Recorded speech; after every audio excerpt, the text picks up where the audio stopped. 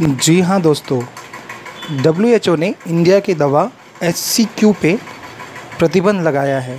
सुनने में थोड़ा अजीब सा लगता है, लेकिन ये सही है। शायद ये चाइना के दबाव में कर रहा है। पता नहीं। इसके ऊपर और भी सारे वीडियो बनाऊँगा। कृपया आप लाइक करें सब्सक्राइब करें। थैंक यू आगे का वीडियो जल्दी आने वाला है तो देर मत कीजिए लाइक करें सब्सक्राइब